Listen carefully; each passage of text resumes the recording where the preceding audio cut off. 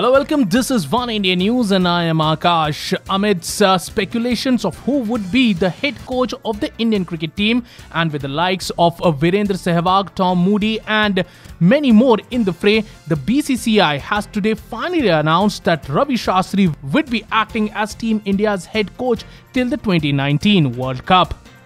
Yesterday, the CAC, comprising of Sachin Tendulkar, Sourav Ganguly, and VVS Laxman, has said that they have interviewed all the five applicants for the head coach but would need to consult with the skipper Virat Kohli and will announce the decision a few days later as they need to consult skipper Virat Kohli also.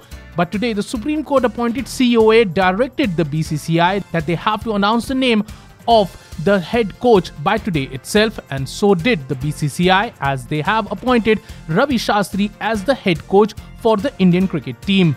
India's former skipper Anil Kumble was appointed as the head coach for the team for the tenure of one year, and after the Champions Trophy 2017, he stepped down from his position owing to some differences with skipper Virat Kohli.